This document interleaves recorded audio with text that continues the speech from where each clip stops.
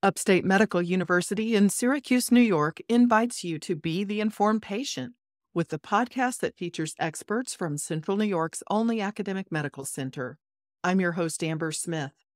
Can drugs that improve concentration in people with attention deficit hyperactivity disorder also help people who do not have ADHD? We're exploring that with Dr. Stephen Faraone. He's a distinguished professor and vice chair of research of psychiatry and behavioral sciences at Upstate. Welcome back to the Informed Patient, Dr. Faraone. Thank you, Amber. Great to be here again. College campuses and various workplaces are full of people who may turn to stimulants to help them stay awake and perform well on exams or during important deadline projects. Some of the stimulants they use are prescribed for helping people with ADHD to improve their concentration. Do these medications work in people who don't have ADHD? Well, what I would tell you is that the medications will have an effect on these people, but they won't help them in the same domains as they help people with ADHD. So, for people with ADHD, they improve concentration, they reduce hyperactivity and impulsivity. But for a person without those problems, it's not helpful. It's almost like saying, I'm nearsighted, so I need glasses. But if I give my glasses to somebody who has perfect vision, it's not going to help them. In fact, it could make their life worse. It would make their life worse than wearing glasses the college kids that use the stimulants think that because it helps people with ADHD, that somehow it's going to make them into super students and do better. And it doesn't. I mean, we know from studies that clearly show that actually the kids that use stimulants to help them through college end up doing worse overall in terms of grade point averages than other kids. And we know from a recent study by some colleagues of mine in Australia that when you look at uh, adults performing neuropsychological tasks. Adults who don't have ADHD, having stimulants on board does not help them at all. It's, it's not useful. Well, how do these things work? Like Ritalin and dextroamphetamine, how do they work? What do they do in the body? Well, we know about those two medications. The class is called stimulants. People know them as Ritalin or Concerta for methylphenidate or Adderall or Vyvanse for amphetamine. And there are many different variants of that. What they do is that they target proteins in the brain, actually one specific protein called the dopamine transporter, which is, I have to explain this because it does get a little technical, but in the brain is a collection of cells called neurons. These neurons talk to each other. They're not physically connected. They're separated by small gaps. We call those gaps the synapse. And for one neuron to talk to another, it has to send chemicals across the synapse to propagate the message. To give a clear message, you have to have each of these neurons sending a chemical message to the subsequent neuron. If there's not enough chemical in the synapse, the message gets garbled, gets confused, and is not as effective as it is in controlling the type of behavior or mental activity that these neurons regulate. In the case of ADHD, the medicines literally block the activity of a protein called the dopamine transporter, and it prevents the dopamine transporter from removing a chemical called dopamine from the synapse. Because we think what happens is that with people with ADHD, there's too many dopamine transporters, they're removing the dopamine from the synapse too quickly so the messages are getting through.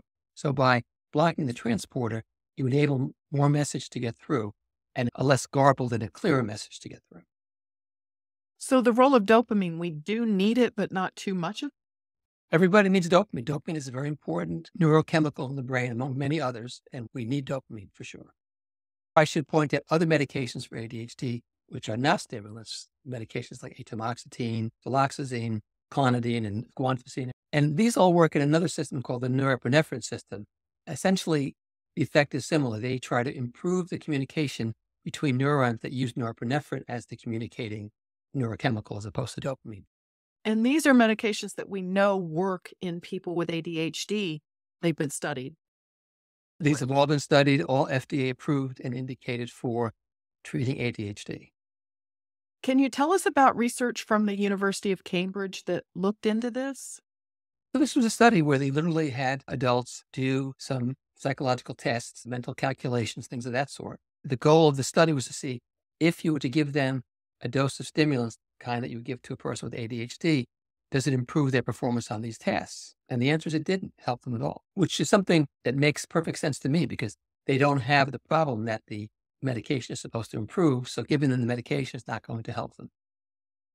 Well, if stimulants don't improve concentration, is there a benefit to someone taking them if they just are trying to stay awake, either to drive or to study?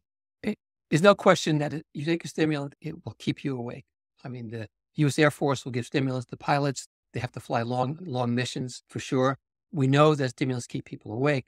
College students will sometimes therefore use them to stay awake and study so they can cram for a test. But we know that's a very bad way to study for tests. And it actually hurts them because if they think, oh, I don't have to study until the night before because I'm going to stay up all night studying because I'm going to take Adderall or Concerta, and then I'll be wide awake in the morning and I will be able to take the test. They're totally wrong because the method of cramming for tests does not work in general.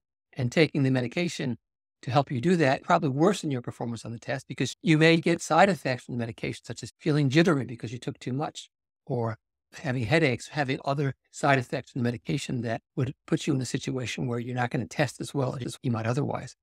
I should also point out that many of the people who misuse these medications, they think, well, I'm not abusing a drug because this isn't a street drug. This is a drug that was approved by the FDA. It was given by a doctor to my friend for his ADHD. So therefore it's safe. And the answer is, well, yes, the drug is safe, but there's a qualifier there. It's safe when it's prescribed by a physician for appropriate use and the person has been cleared for that appropriate use.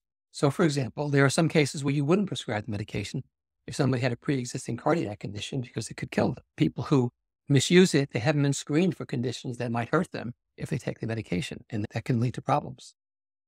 This is Upstate's The Informed Patient podcast. I'm your host, Amber Smith. My guest is Professor Stephen Faraone. Much of his research focuses on attention deficit hyperactivity disorder, and today we're talking about whether medications that improve concentration in people with ADHD can also provide a mental boost to people who don't have ADHD.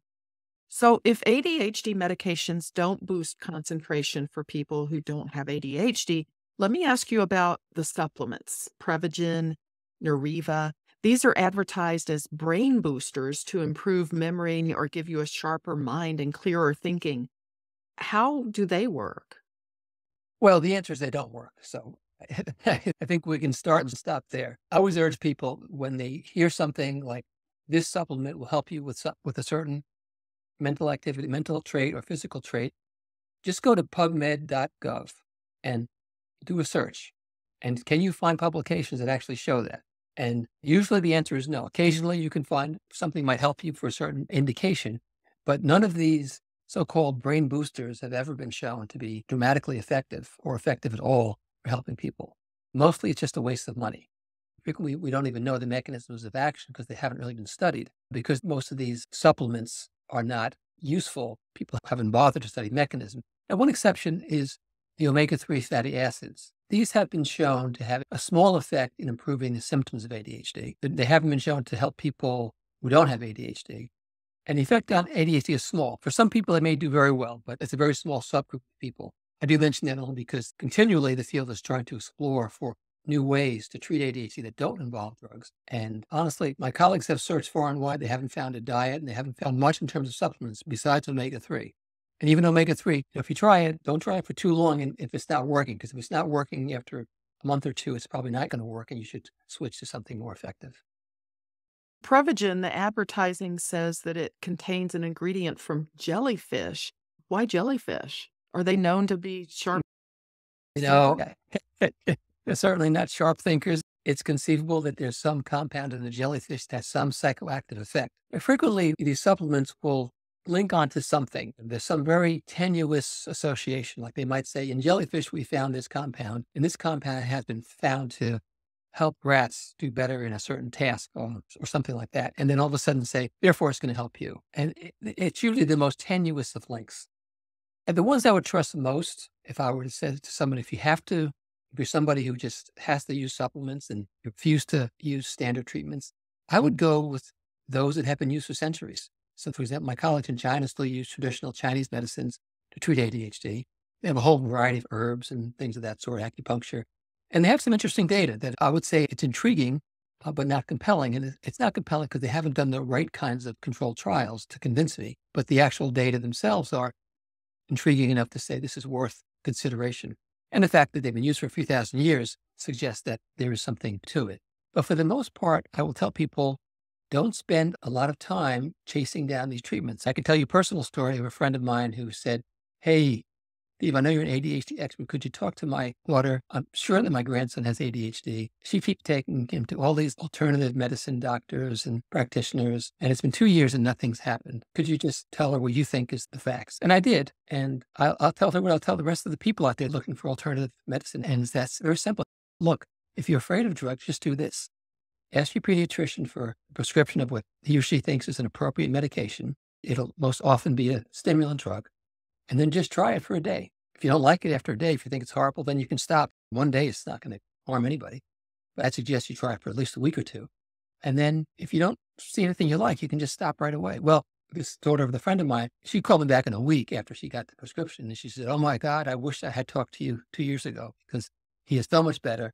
And I just wasted so much of my time with these other so called doctors. In some ways, they're really quacks because anybody who does not treat people based upon the evidence base is really not doing appropriate medicine or appropriate clinical work, including my psychology colleagues. I'm a clinical psychologist. And psychologists who like to treat ADHD psychologically are doing their patients harm because they're denying them medical treatment that we know is much better than any psychological treatment that we have.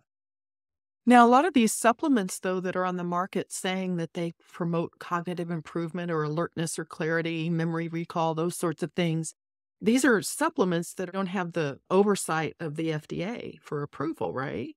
Oh, that's right. None of them have been approved by the FDA at all. Their rules for advertising are, I guess, fairly lax because they're allowed to make these claims. And if you read the fine print, the fine print on many of these supplements will tell you that basically they haven't been approved for what they're claiming that they're useful for.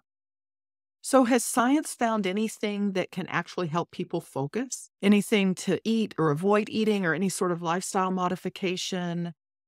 Well, in general, I always encourage people to say start with the obvious things get a good night's sleep, have a well rounded diet, exercise regularly, don't become overweight, take care of yourself medically. If you do those basics, that's going to help everybody concentrate better and do better. Those things are far more important. You know, the problem with us Americans is we're looking for a quick fix. Is there a quick fix? So I can eat as much as I want. I don't have to exercise and I can still be super sharp and effective. And the answer is you can't, basically. Most of us can't. We have to take care of ourselves. A lot of people take care of their cars better than they take care of themselves. Bizarre. Well, Dr. Faraone, I mm. appreciate you making time for this interview. Thank you. Happy to do it. Thank you. My guest has been Dr. Stephen Faraone. He's a distinguished professor and vice chair of research of psychiatry and behavioral sciences at Upstate. The Informed Patient is a podcast covering health, science, and medicine, brought to you by Upstate Medical University in Syracuse, New York, and produced by Jim Howe. Find our archive of previous episodes at upstate.edu/inform. This is your host Amber Smith, thanking you for listening.